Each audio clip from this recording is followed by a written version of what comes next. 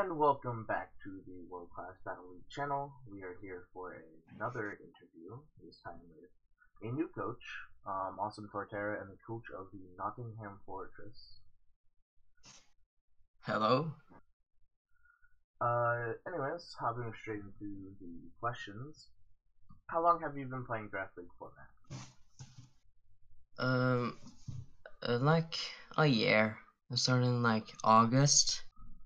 Uh, my first league was um, uh, I actually created my own league called the MBL. Uh, yeah, That's nice. it's still going strong. Now, I'm guessing it's not like the super famous doubles league, right? No, no. I was about to say, if, if you made that. Um, anyways, how have you usually placed in leagues you've been in? Um, I always seem to make playoffs in every league I'm in, but I've never won a league. I seem to like choke uh, every first or second week.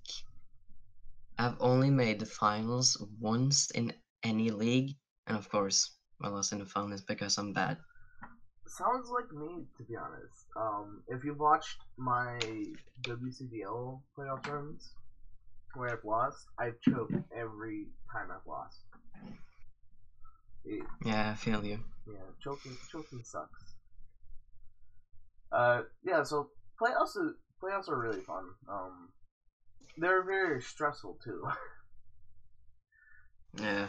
Uh, Next up, uh, what's your favorite play style and why? Um, I like balance and bulky offense.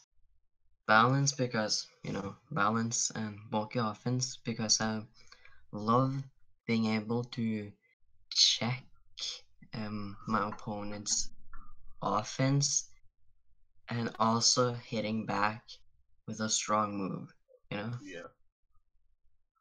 Uh, bulky offense is like really solid. I think both people that have done an interview have answered bulky offense. So.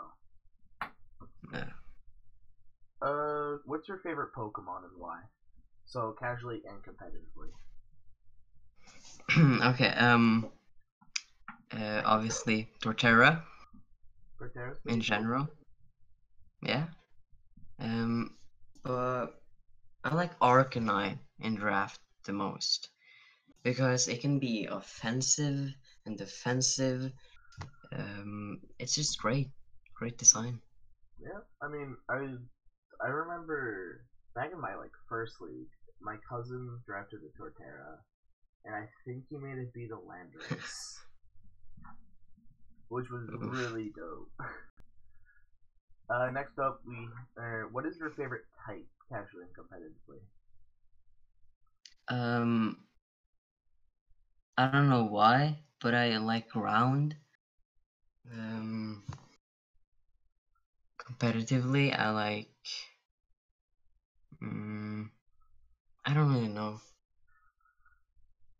That's fair. I Um, like all. I like all types. Yeah. uh, what was your favorite generation? Um, Generation Four. I just love the story, the champion and the bad team. Yeah, Generation Four was really dope.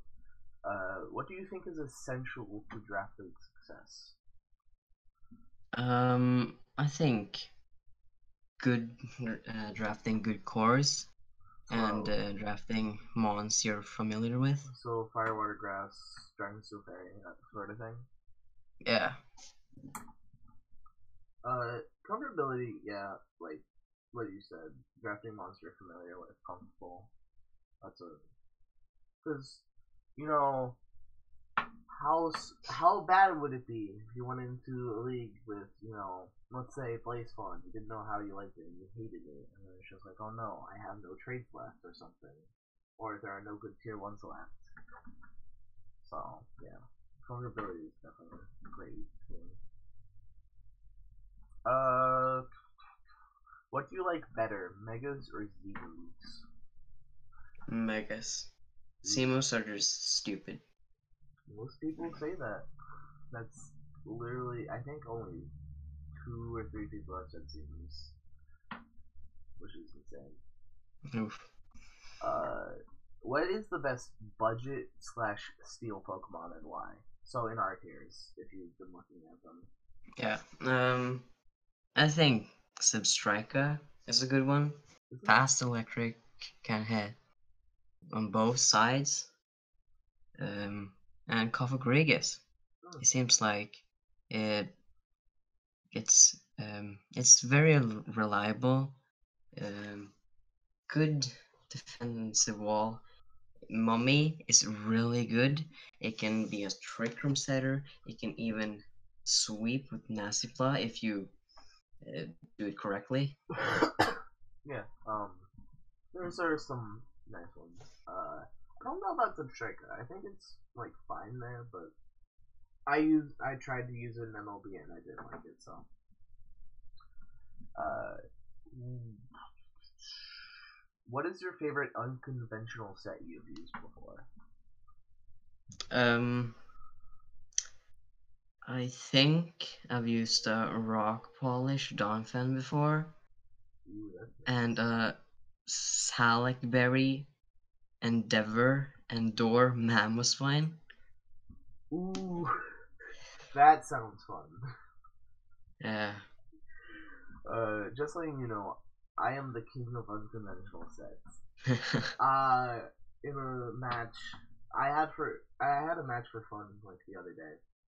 I brought roleplay Mhm. Furfrou just so I could get Toxic Heal from Gliscor,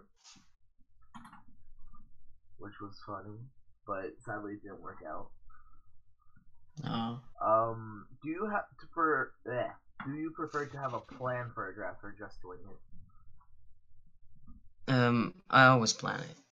Nice. So you got your plan I, I, already? um, not yet.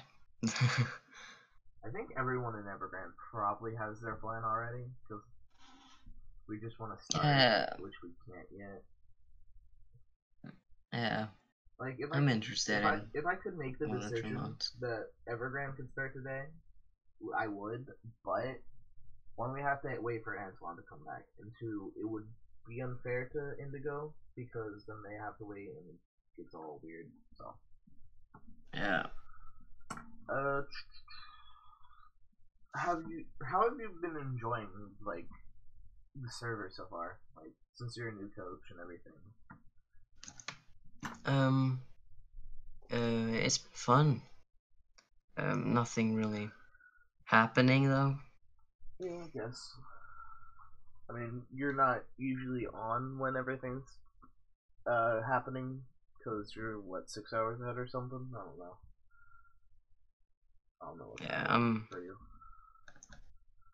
um, living in Europe, so Uh, so what do you feel about like having two basically different leagues? So, what do you think about the divisions? mm, I think it's something different. Yeah. Um, yeah, Uh, I don't really know. I mean, hopefully, uh, you'll have a good season. I wish luck to you in the draft and your upcoming WCBL season. Uh, Yeah, lastly, you. do you have any questions for me? Um, are you a good player? Uh, I think so. I, I mean, I'm definitely decent. I make playoffs like all the time, so. So yeah, Okay, I think I'm okay. pretty good. Uh, Evergrande does Good have to some. know. Evergrande does have some good competition. We got Killua, we got Rogue, so at least you're not in Indigo with all the tier one sweats. Anyways, Yeah. I think that will wrap up our interview. Thanks for joining me, and peace.